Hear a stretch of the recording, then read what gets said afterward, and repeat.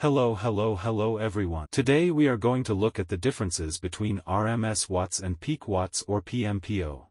Many times, when we go to the stores to buy any type of loudspeaker to evaluate its power we look at the watts it has and we act on that. You may have noticed that many times the watts are indicated in watts, RMS watts or, in some cases, PMPO watts. But what does each one mean, what are the real watts and what is the difference between each one? Well today we are going to try to help you a little bit with this.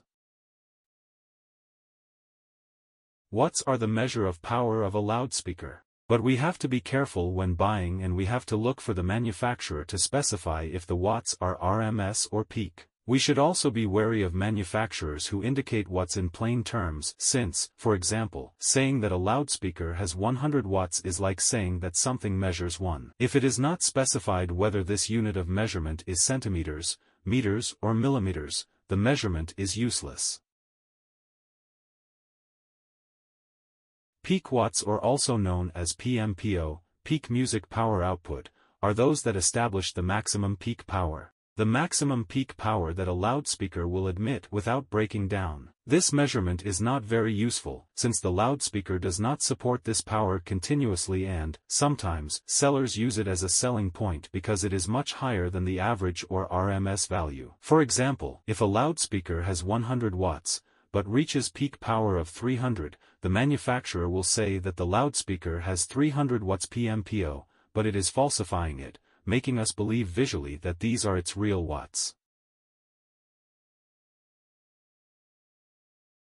The average watts are also known as RMS, root medium square, is the power that a loudspeaker can withstand continuously without breaking down. RMS stands for root mean square and is the most reliable measure of power that we should always ask about when buying a loudspeaker. That is, although a loudspeaker may have power peaks where it reaches, for example, 400 watts, this measurement will give us the average power at which the loudspeaker will work continuously, so we can say that it is the real measure. In this picture we can see graphically the difference between both, where we can see the blue wave indicating the power peaks and the space between the dashed green and red line showing the reality, the average and continuous power. There is a rule that although it is not strictly true, it is usually taken as valid to compare some some watts with others and it says that the RMS watts are the fourth part of the peak watts. In other words, the RMS watts can be obtained by dividing the peak watts by 4. In this way, if the manufacturer tells us the peak watts, we can have an approximation of the actual watts. For example, it would be equivalent to say that a loudspeaker has 1200 watts peak or 300 watts RMS. That is why it is so important to specify what kind of watts we are talking about and look for the real watts ourselves. For the brands, it sells a lot more to say that a speaker has 1200 watts and then have to look in the fine print that it is peak watts,